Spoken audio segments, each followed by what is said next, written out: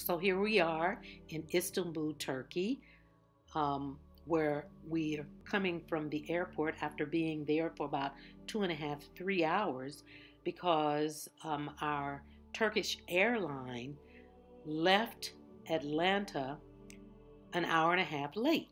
And so we missed our flight, our connecting flight to Rome.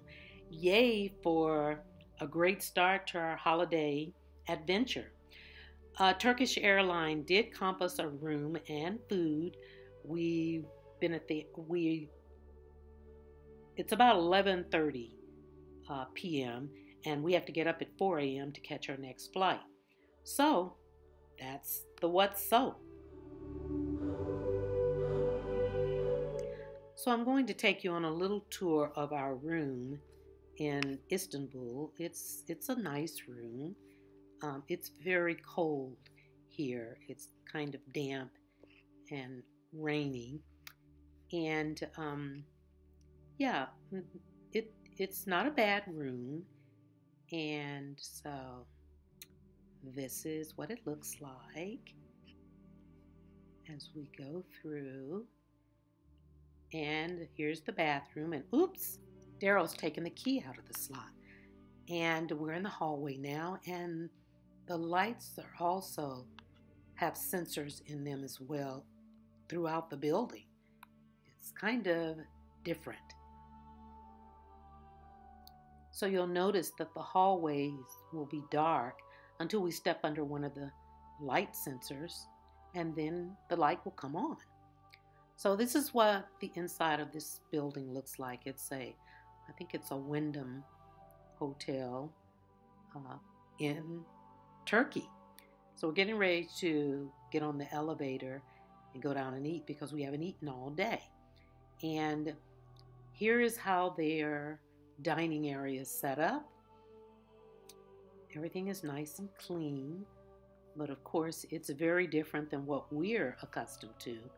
And they already have our plates set on the table, and we just sit, and then they come and bring us um, the dishes that they've prepared. And here's a look at some of the things that we'll be eating. And the food was really delicious. The soup was good, everything is halal. And um, so it was a tasty meal, and it wasn't because we're eating so late.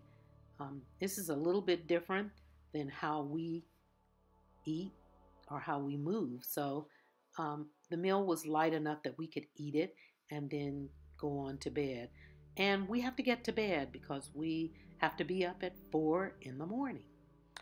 So another look at the the dining hall and you know we're just going to go back up to our room and try to go to sleep, which will be very difficult considering that we'll only get about three hours of sleep before we have to get back up, three or four hours.